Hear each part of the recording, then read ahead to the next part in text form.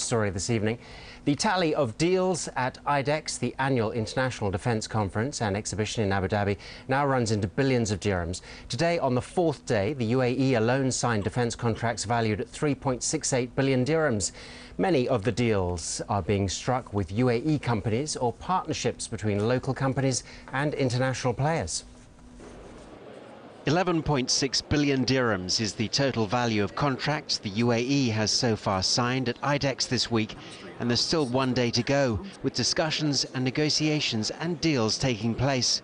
For defence providers, some are seeing a 50% year-on-year growth. This year at IDEX, we announced a memorandum of understanding with uh, the International Golden Group, a Abu Dhabi-based defence company, to enter into a collaboration to market our range of vehicles in the UAE and elsewhere in the, in the region, and also to look at the possibility of establishing a production facility here to create a land forces system around our vehicle platforms.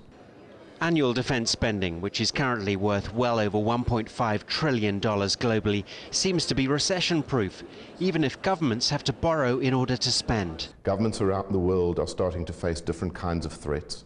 There's also a very strong acknowledgement of the value of human life, and as a result, governments are now starting to invest significantly in protective equipment so that their troops can go into to difficult situations, do their work, and get out safely.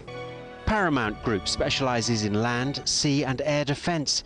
This year in Abu Dhabi, the focus, though, has been on its mine-protected armoured vehicles. We're already operating three factories around the world. It is our intention to, to build another five over the next five years. We believe that the market for, for our type of equipment is in excess of 5,000 units in the Middle East over the next five to seven years.